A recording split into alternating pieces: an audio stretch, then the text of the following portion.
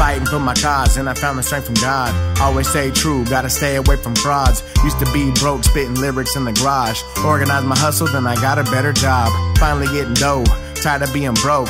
Work my ass off, 50 plus for my goals. First thing I bought was my own microphone. Wrote a fresh track, dropped, I'm in my zone. People was feeling it, said I was killing it. Feel that it's real, not rap for the benefit. Talent is limitless and changes are imminent. Verses are intricate, not many stand my equivalent. Started working daily, trying to build my own label. Some said I'm crazy and they think I'm unstable. Will never need their help, better off by myself. No sell for the hell, just play the hammer dealt.